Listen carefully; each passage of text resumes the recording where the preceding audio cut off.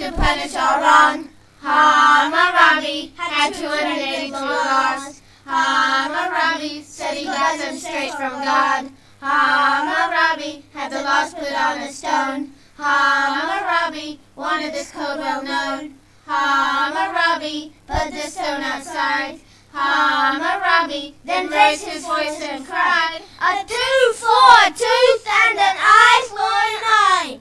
Hammurabi, that's one straight king. Hammurabi Babylon. Hammurabi wanted to punish all wrong. Hammurabi had 282 laws. Hammurabi said he got them straight from God. Hammurabi had the laws put on a stone. Hammurabi wanted this code well known. Hammurabi put the stone outside. Hammurabi then raised his voice and cried, A tooth for a tooth and an eye for